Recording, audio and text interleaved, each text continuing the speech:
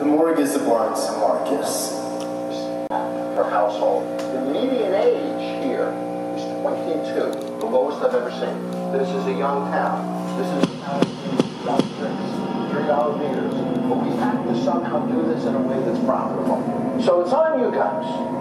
And if you want to really protect that investment, you've got to. And if you want to really protect that investment, so got to. And if you want to really protect that investment, so got to really protect that investment, so got.